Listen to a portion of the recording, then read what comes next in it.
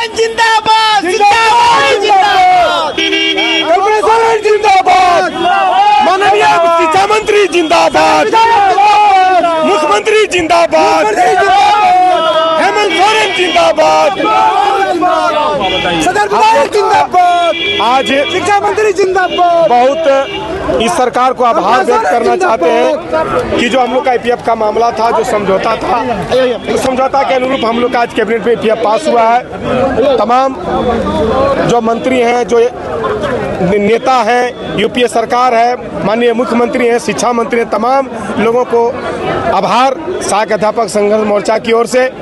और आज ईपीएफ हुआ। अब हम लोग को वेतनमान की जो लड़ाई है, बाकी है लगता है कि इसी सरकार से हम लोग को वेतनमान मिलेगा। आप पहले बताइए तो कौन किसको मिला क्या मिला आप लोग कौन है? हम लोग सहायक अध्यापक हैं और लगातार हम लोग के साथ सरकार से समझौता हुआ था और उस समझौते के अनुसार लगातार कैबिनेट हो रहा था लेकिन कैबिनेट में ईपीएफ लागू नहीं हो रहा था। आज हम लोग को लग रहा था कि आज अंतिम कैबिनेट हो रहा है और इसमें हम लोग का ईपीएफ लागू हुआ। समझौता जो हुआ था सरकार से लागू किया वेतनमान बाकी है इस सरकार से वेतनमान लेना है। क्या आप लोगों नाराज़गी दूर हुई सरकार से? देखिए बहुत बड़ी नाराज़गी थी और हम लोग बहुत इंतज़ार में थे, चूँकि 20 तारीख को जो आंदोलन किए थे, उसमें हम लोगों ने सारा मुद्दा को छोड़ते हुए ईपीएफ पर केंद्रित हो गए थे और आज हेमंत सरकार ने जो ईपीएफ का मुद्दा हम लोगों के लिए पारित किया है, इसके लिए पूरा सहायक अध्यापक संघर्ष मोर्चा के बासठ हज़ार परिवार की ओर से इनका प्रति आभार व्यक्त करते हैं। अब और सिर्फ़ और सिर्फ़ अगर हम लोगों की लड़ाई रह गई है, वो वेतनमान तो हम लोग इसकी लड़ाई लड़ते रहेंगे। लेकिन आज मैं माननीय मुख्यमंत्री हेमंत सोरेन जी को, माननीय शिक्षा मंत्री बैजनाथ राम जी को, गिरिडीह विधायक सुदीप सोनू जी को और इनके मंत्रिमंडल के तमाम सदस्यों को सहायक अध्यापक संघर्ष मोर्चा से ढेर सारे आभार व्यक्त करते हुए और खासकर आज सुबह सुबह हम लोगों ने कल्पना मैडम से भी भेंट किया था तो आपके माध्यम से उनका भी आभार व्यक्त करते हैं। चलिए आप बताइए। हाँ, बाईस साल हमने इस राज्य की सेवा की है पठन पाठन को हम लोगों ने चलाया है। आज बाईस साल में ये हो रहा था कि हम कहीं पे मर जाते थे तो अपने साथियों को कफन के लिए भी चंदा उठाना पड़ता लेकिन आज कैबिनेट का आभार आज माननीय हेमंत सोरेन का आभार किया आपने एक बड़ी एक बड़ी एक सहयोग बड़ी एक सहयोग हम लोग पारसियों को ईपीएफ ग्रुप में दिया है। इसे झारखंड सरकार को राज्य के तमाम सहायक अध्यापकों की ओर से बहुत बहुत धन्यवाद। कल्पना सोरेन को धन्यवाद शिक्षा मंत्री को धन्यवाद। गिरिडीह के माननीय विधायक को धन्यवाद। जीवन में क्या बदलाव आएगा ईपीएफ में ईपी हमारा भविष्य सुरक्षा के लिए कुछ भी नहीं था मेरे पास। कुछ नहीं था। कुछ नहीं था लेकिन इस सरकार ने हमें अब आगे के लिए अगर हम मर जाएँगे हमारे बाल बच्चों के लिए अगर हमको कुछ हो जाएगा या फिर हम लोग सेवा करने के बाद जब हमारे रिटायर होंगे तो कुछ पैसा हमको मिलेगा ये इस सरकार से हमने लिया है। सबसे पहले राज्य सरकार के प्रति आभार, राज्य के बासठ हज़ार परिवारों की तरफ़ से। और प्रेस मीडिया को भी बहुत बहुत धन्यवाद और आभार।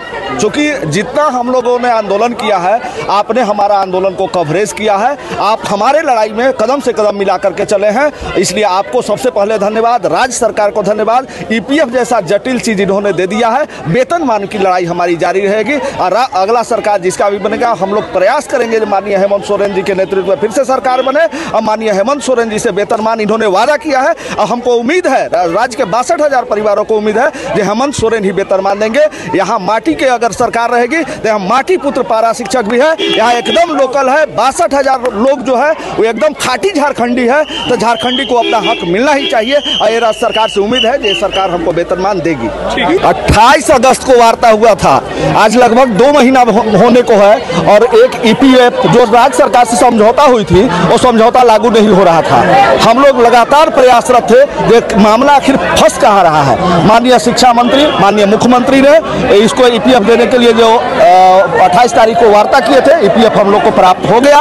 वेतनमान ये सरकार का वादा है, इस सरकार से ही वेतनमान हमको मिलेगा, ऐसा उम्मीद है। राज्य के बासठ हज़ार परिवारों की ओर से आज सरकार को आभार, लेकिन हमारा वेतनमान मुख्य मांग वेतनमान वो हमारा जारी रहेगा, और सरकार से उम्मीद है, या अगला सरकार बनेगी हेमंत सोरेन जी के नेतृत्व में तो पुनः हमको वेतनमान सरकार देगा। बैजनाथ राम को क्या चाहिए बैजनाथ राम जी के प्रति आभार। माननीय शिक्षा मंत्री जी ने, शिक्षा मंत्री जी ने, माननीय शिक्षा मंत्री जी ने वार्ता में बोला था जब मैं हूँ और आपका आपका वार्ता, आपका जो वार्ता का प्रत्येक बिंदु में लागू करवाऊँगा। आज उन्होंने अड़ करके ईपीएफ को लागू करवाया। राज्य के बासठ हज़ार परिवारों की ओर से उनको बहुत बहुत धन्यवाद बहुत बहुत आभार बासठ हज़ार सहायक अध्यापकों की ओर से माननीय मुख्यमंत्री हेमंत सोरेन माननीय शिक्षा मंत्री बैद्यनाथ राम माननीय कल्पना सोरेन और सदर विधायक गिरिडीह, जो लगातार हम लोग के साथ खड़े रहे, उनको भी बहुत बहुत धन्यवाद। ईपीएफ लागू हुआ, जीवन मिला, सहायक अध्यापकों को मान मिला, सम्मान मिला। यही सरकार ने मान दिया, सम्मान दिया। वो बढ़ोतरी मिलेगा, वो परिषद करेगा, फ़िलहाल ईपीएफ मिला है। इसमें जो सो, अगर अगर मृत्यु हुई है तो उसमें लाभ मिलेगा, पेंशन का लाभ है। वो तो जो नियत है, जो नियम है और पेंशन का भी लाभ है, इसमें मृत्यु पर भी लाभ है और आपका जो है सो रिटायरमेंट का भी तीनों फ़ायदा इसमें है।